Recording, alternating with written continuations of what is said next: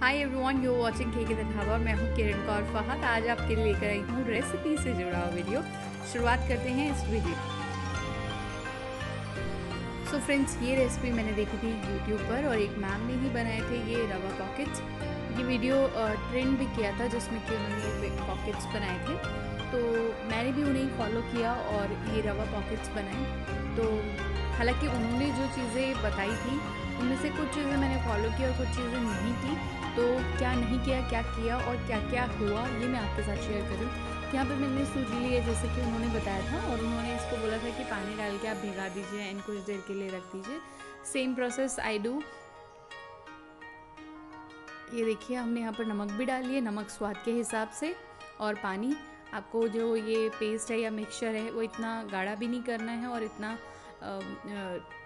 मतलब पानी वाला भी नहीं बनाना है कि आपसे जो है इसका जो हमारा रवा पॉकेट है उसका बेस ना बन पाए।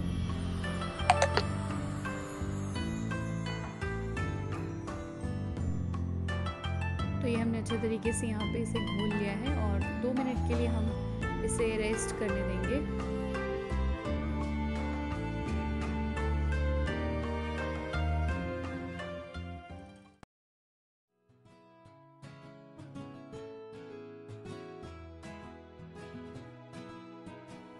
तो ये सूजी जो है, इसको मैं कुछ सेकंड के लिए मिक्सी में पीसूँगी क्योंकि जो हमने सूजी ली है वो थोड़ी मोटी है और जो वीडियो में मैम ने ली थी उनकी सूजी थोड़ी बारीक थी तो इसको मैंने पीस लिया और बिल्कुल डोसे जैसा बैटर तैयार हो गया है। अब हम यहाँ पर नॉर्मल तवा ले रहे हैं, आप नॉन स्टिक पैन भी ले सकते हैं। अक्सर ऐसा होता है कि लोग शिकायत करते हैं कि हमारा पहला चीला तो जो है वो ख़राब हो जाता है तो अगर आप ठीक से ग्रीसिंग करेंगे तो चीला नहीं ख़राब होता है। लेकिन अगर हो भी जाए तो मान लीजिए कि हाँ पहला चीला अक्सर ख़राब हो जाता है। तो चीला हो, डोसा हो तो पहली तो कुर्बानी आपको देनी पड़ती है। हालाँकि मेरा फ़र्स्ट चीला है और ये आराम से निकल भी जाएगा। काफ़ी पतला मैंने इसे बनाया है।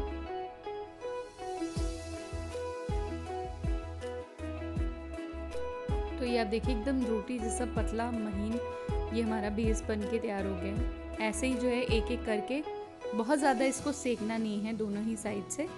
ठीक ठीक सेक लेंगे हम। और देखिए इतना अच्छा बना है कि हम हाथ से ही इसे पलट पा रहे हैं। हमें कोई आ, पलटे वगैरह की ज़रूरत नहीं पड़ रही है। तो यहाँ पे सूखे आलू बना रखे हैं जैसे कि डोसा में जो स्टफिंग होती है वो। और अब इसे हमने बीच में भर लेना है। इसको आपको पूरे तरीके से नहीं फैलाना और इस तरीके से फोल्ड कर लेना। बस इस पॉकेट में मुझे एक सबसे जो ख़राब चीज़ लगी वो ये कि ये फोल्ड नहीं हो पा रहे थे। हो सकता है कि मैंने कोई गड़बड़ करी हो इसे बनाने में। सिर्फ़ फोल्ड ना होने की प्रॉब्लम थी। सात आठ बेस मैंने बना कर रख लिए हैं।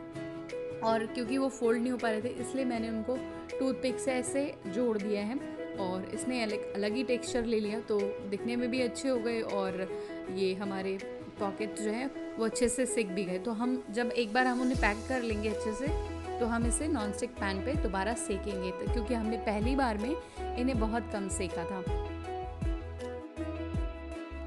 तो यहाँ पे बनकर हमारे तैयार हैं रवा पॉकेट्स। आप भी ट्राई कीजिएगा, मुझे बताइएगा कैसे लगे आपको। नेक्स्ट वीडियो तक के लिए बाय बाय